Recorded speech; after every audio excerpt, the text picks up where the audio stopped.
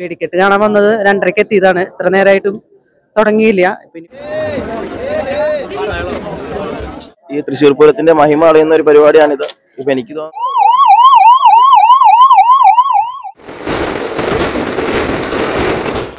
Hello good afternoon friends എല്ലാവർക്കും ലത്തി ബ്ലോഗിന്റെ പുതിയൊരു എപ്പിസോഡിലേക്ക് സോ നമ്മളുള്ളത് തൃശ്ശൂരാണ്. തൃശ്ശൂര് ഗ്രൗണ്ടിലാണ് ഉള്ളത് ഈ ഒരു ഗ്രൗണ്ടിലുള്ള കാഴ്ചകളാണ് ഇന്നത്തെ നമ്മുടെ ബ്ലോഗിൽ ഉണ്ടാവും അപ്പം ചാനൽ ആദ്യമായിട്ട് കാണുന്നവരാണെന്നുണ്ടെങ്കിൽ സബ്സ്ക്രൈബ് ഒക്കെ ചെയ്ത് ബെല്ലൈക്കണൊക്കെ ചെയ്ത് ഓൾ എനേബിളിലേക്ക് സപ്പോർട്ട് ചെയ്യണം. പകൽപൂരം കണ്ടിട്ടുണ്ടാവും എന്ന് വിചാരിക്കുന്നു. ഞങ്ങൾ മുന്നേ ഒരു പകൽപൂരത്തിലെ വീഡിയോ ചെയ്തിട്ടുണ്ടായിരുന്നു. അത് കാണാത്തവരുണ്ടെങ്കിൽ പോയി കാണാം അതേപോലെ തന്നെ രാത്രി പൂരമാണുള്ളത്. അപ്പം രാത്രി പൂരത്തിൽ ഒരുപാട് കാര്യങ്ങളുണ്ട് പകൽപൂരത്തിൽ കുറച്ച് കുറച്ച് കാര്യങ്ങളായിട്ടാണ് ഉള്ളത്. അതേപോലെ തന്നെ രാത്രിയിലുള്ളതിൽ പ്രധാനമായിട്ട് നമ്മൾ വെടിക്കെട്ടാണ്. വെടിക്കെട്ട് മാത്രമാണെന്ന് വിചാരിച്ചത്. പക്ഷേ വെടിക്കെട്ട് മാത്രമല്ല ഒരുപാട് കാര്യങ്ങൾ ഇവിടെ ഉണ്ട് അപ്പൊ അതെല്ലാം നമ്മൾ ഉൾപ്പെടുത്തി ചെയ്യുന്നുണ്ട്. അപ്പൊ നേരെ വീഡിയോയിലേക്ക് പോകാം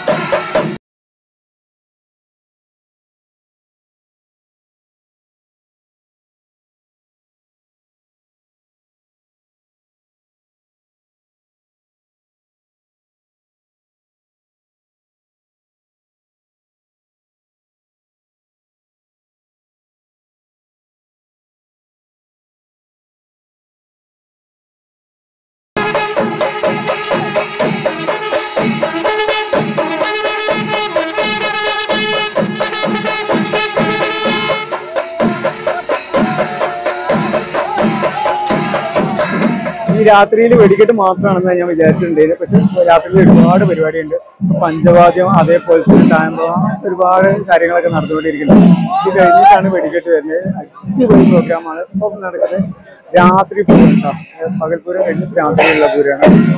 നല്ല തിരക്കുണ്ട്. ഇപ്പൊ അധികം ഈ തൃശ്ശൂർ ഏരിയയിലുള്ള ആൾക്കാർ മാത്രം പുറത്തുനിന്നവരൊക്കെ ഒരിക്കലും പോയ പോലെ തോന്നുന്നുണ്ട് ഒരു ദിവസം അപ്പുറം വേറെ എവിടെ സ്ഥലത്ത് പഞ്ചവാദ്യത്തിന്റെ കാര്യങ്ങളൊക്കെ നടക്കുന്നുണ്ട്. പിന്നെ അതേപോലെ ലൈറ്റ് അറേഞ്ച്മെന്റ് ഒക്കെ അടിപൊളിയാണ്.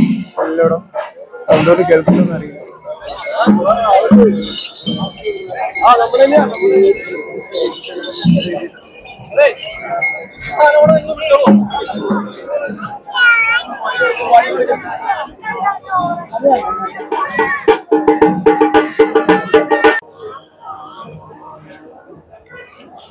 hello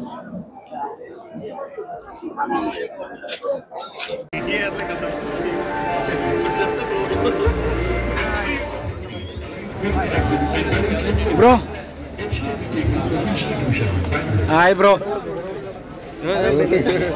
hello hello hello hello hello hello hello hello hello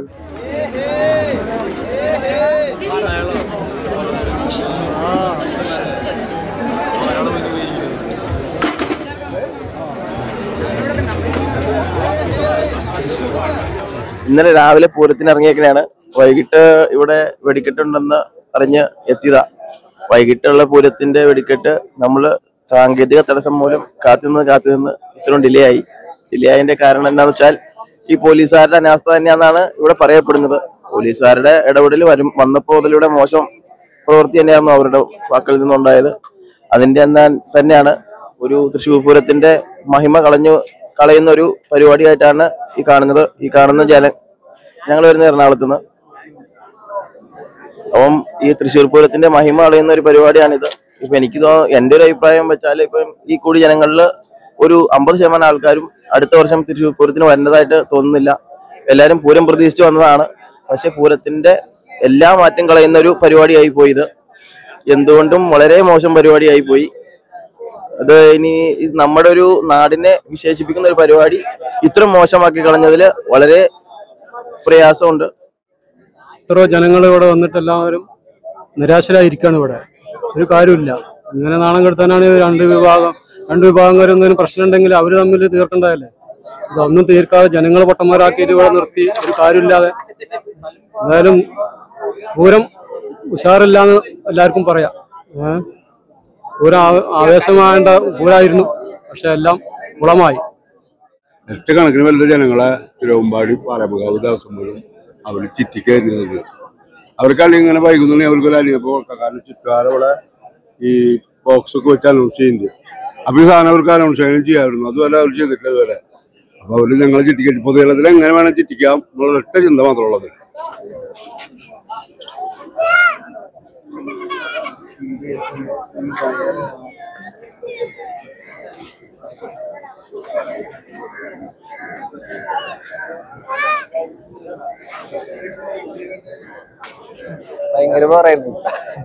ഞാൻ സാധാരണയായിട്ട് ഒരു രണ്ടു മൂന്ന് വർഷമായിട്ട് തൃശ്ശൂർ പൂരം കാണാൻ വരാറുള്ളൂ. ഇപ്പൊ ഒരു മൂന്ന് വർഷമായിട്ട്. അതിനു മുമ്പ് ഭയങ്കര പേടിയായിരുന്നു വരാനൊക്കെ. ഭയങ്കര തിരക്കൊക്കെ ആയതുകൊണ്ട്. രണ്ടു മൂന്ന് വർഷമായിട്ട് കാണാറുണ്ട്. അപ്പോൾ കഴിഞ്ഞ വർഷം കുടമാറ്റം കാണാൻ വേണ്ടി വന്നിരുന്നു. ഈ വർഷം കുടമാറ്റം കാണാൻ വേണ്ടി വന്നില്ല. ഉച്ചയ്ക്ക് ജസ്റ്റ് പൂരം കണ്ടുപോയി പക്ഷെ പൂരം കുറച്ചൊക്കെ കാണാൻ സാധിച്ചു. ഈ വെടിക്കെട്ട് കാണാൻ വന്നത് രണ്ടരയ്ക്ക് എത്തിയതാണ്. ഇത്ര നേരമായിട്ടും തുടങ്ങിയില്ല. പിന്നിപ്പോ പാർമേക്കാവിന്റെ വെടിക്കെട്ട് കണ്ട് പോവാം എന്ന് അല്ല തിരു സോറി തിരുവമ്പാടിയുടെ വെടിക്കെട്ട് കണ്ട് പോവാന്ന് വിചാരിക്കുന്നു. പാർമേക്കാവിന്റെ വൈകുന്നേരം ആയിരിക്കും അതെന്തായാലും മിസ്സാവും താങ്ക് യു